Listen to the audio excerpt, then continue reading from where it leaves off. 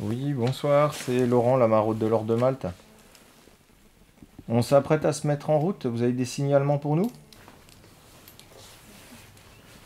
Des jeunes dans un squat, ouais. Noté, on va voir si, euh, on peut si on peut y aller. Et ensuite, Ensuite, c'est une soirée ordinaire pour cette maraude de la section strasbourgeoise de l'Ordre de Malte.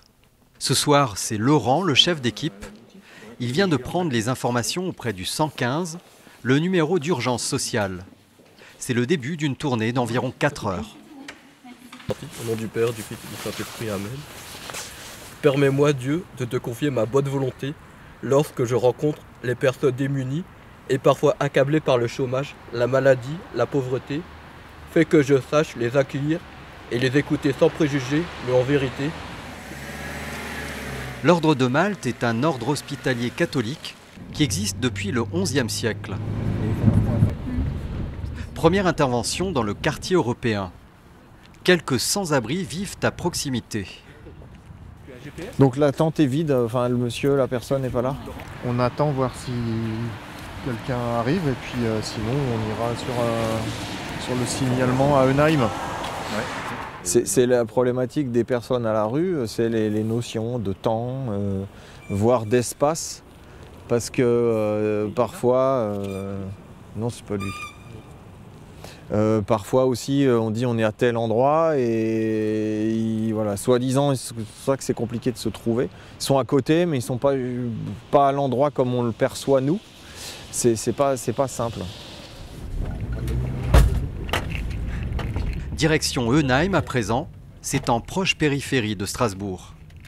Des personnes vivant dans un squat ont demandé le passage de la maraude.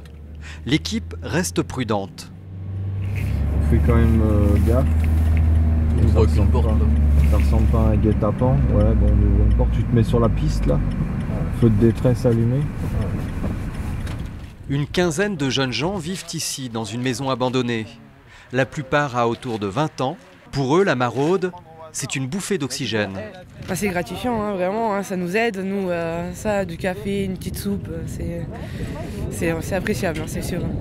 Euh, des fois, la fierté, elle prend un coup. C'est pas forcément facile de venir demander de l'aide. On a, on a, on a aussi euh, notre propre dignité. et, euh, on, a, on la met à mal quand on prend ce choix de vie-là. Eux ont surtout besoin de repas chauds, mais aussi de couvertures. Plus d'une centaine sont distribuées chaque hiver. Elles sont fournies par Caritas. du possible Euh, je sais pas si Du on a- veille à pas. C'est Aurèle qu'elle a fait. Et on va pas en avoir pour tout le monde. Hein. Et je peux en avoir une laisse Et les chiens, ils ont à manger ou pas si vous avez les croquettes. On va vous laisser les croquettes. Du lait en poudre, je crois. Grégoire n'est guère plus âgé que ses jeunes. Il a décidé de s'engager à l'ordre de Malte par conviction religieuse. Euh, c'est pas c'est pas le côté activiste le plus important, c'est euh, vraiment avoir euh, l'amour en nous quand on le pratique. euh. parce que c'est euh, il y a une parole de saint Paul que j'aime bien, c'est euh, j'aurais beau euh, avoir distribué toutes mes aumônes aux pauvres, si je n'ai pas la charité, j'ai rien. Je ne suis rien si j'ai pas l'amour. Après une demi-heure d'échange, la maraude est obligée de repartir. On fait un compte rendu. Demain, il faut faire un compte rendu. L'équipe a rendez-vous à Strasbourg, à côté de la place des Halles. Le lieu est occupé par des sans domicile fixe depuis bien longtemps. Là encore, le café et les couvertures sont les bienvenus.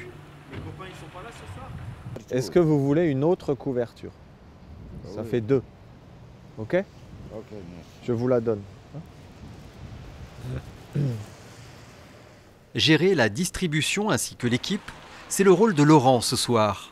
Il est bénévole pour l'Ordre de Malte depuis 5 ans. Finalement, ce sont des personnes comme les autres, qu'une fois qu'on les connaît, qu'une fois qu'on les rencontre, elles sont comme euh, vous et moi. Et puis, c'est là où on a envie de poursuivre parce qu'on n'a pas envie de les laisser ou de les considérer comme elles le sont. C'est-à-dire euh, parfois avec indignité. Euh, donc c'est ça en fait que l'Ordre de Malte combat et qui moi me, me- plaît beaucoup. Des valeurs qui ont traversé presque 10 siècles.